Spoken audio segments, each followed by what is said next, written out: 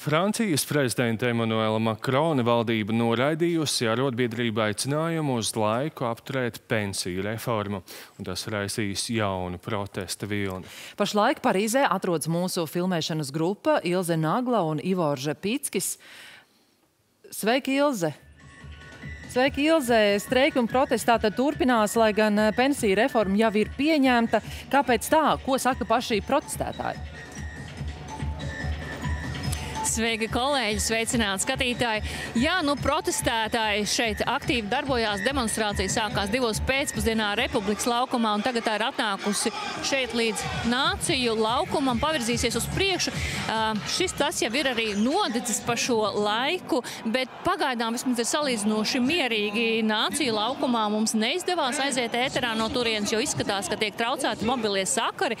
Šeit arī var redzēt, uh, policija jau ir gatavībā, tā kā Droši vien no pieredzes viņi arī labi zina, ka šeit var būt nemieri. Mēs arī redzējām, kā tika, tika mestas pirmās petardes, un šis tas arī dedzināts. Bet jāteic, ka paralēli šim šai demonstrācijai notiek arī mazi, mazāki spontāni protesti arī citviet Francijā. Un, protams, pensiju reforma ir pieņemta, bet e, to Francijas valdība izdarīja apējot balsojumu parlamentā, ko tīri teorētiski konstitūcija viņiem arī atļauj. Tā kā tagad vēl šis likums ir jāskata Francijas konstitucionālajai padomē, bet te visi protestētāji, kurus mēs esam satikuši, saka, jā, bet likumu var atcelt un valdībai tas ir jāceļ. Un šī reforma paredz, ka pensionēšanās vecums Francijā no 62 gadiem tiks paaugstināts uz 64. Bet ar visu to tas būs mazāks nekā, piemēram, Vācijā, Beļģijā, Spānijā, Itālijā, kur tas virzās uz 67 gadiem. Un es arī pirms šīs demonstrācijas vaicāju šeit protestētājiem, ko tad viņi domāja, kāpēc Francijā tā protestē pret šo 64 gadu limitu, ja citur Eiropā šis pensionēšanās vecums ir daudz augstāks. Un cik ilgi var šie protesti turpināties? Paklausīsimies, lūdzu. Tāpēc, ka citās valstīs ir sliktāk, nenozīmē, ka mums arī tā vajadzētu darīt. Mēs zinām, ka darba un dzīves apstākļi šajās valstīs nabadzīgajiem cilvēkiem ir drausmīgi, ka daudzi cilvēki sasniedz vecumu, kad viņiem vajadzētu būt tiesībām atpūsties, bet viņiem jāstrādā divos, trīs darbos un sliktos apstākļos.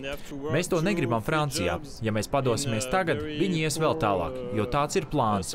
Tas ir par daudz cilvēkiem, kuri veic fiziski smagu darbu.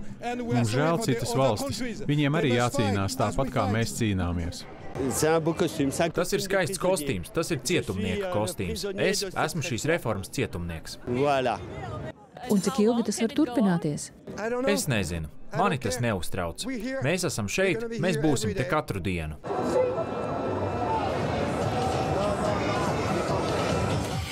Franču sarūktinājums, protams, ir saprotams, jo Francijas prezidenti ir spēlējušies ar pensionēšanās vecumu.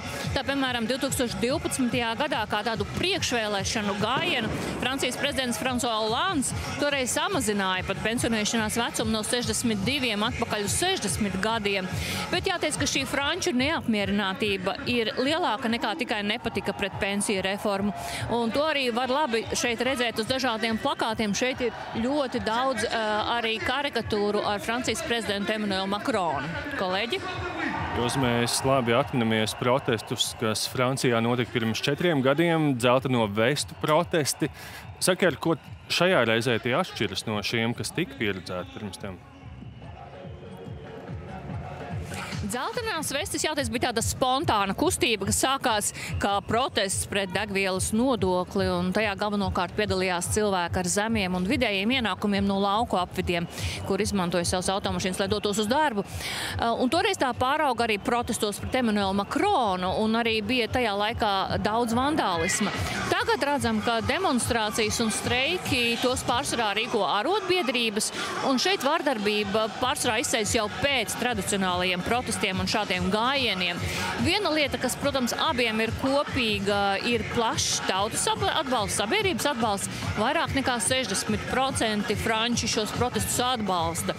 Bet te ir jāpiemina, ka arotbiedrības, kas šos streikus organizē, arī labi apzinās, ka lietas var kļūt nekontrolējamas, un valdība arī nav piekritusi reformu apturēt uz sešiem mēnešiem, lai varbūt nomierinātu cilvēkus. Un kā jau mēs redzējām, tad te, šeit ir daudz policijas, policija ir gatavībā. Kamēr mēs runājam, tad tā jau ir pavirzīsies pāris soļus uz priekšu. Redzēsim, vai viņiem izdosies apturēt šovakar vandāļus vai Parīze šovakar šonakt vai piedzīvos vēl vairākus vandālus maktus. Kolēģi? Paldies, Ilse, tev par ieskatu. Tiešām eh, saspringta situācija Parīzē un eh, Francijā. Piebildīšu, ka šīs dienas protesta akcija ir jau desmitā šāda mobilizācija kopš šo protestu sākuma janvāra vidū, un arotbiedrības solījušas turpināt masu protestus, kamēr Francijas valdība nepiekāpsies un neatteiksies no nodoma paaugstināt pensionēšanās vecumu līdz 64 gadiem.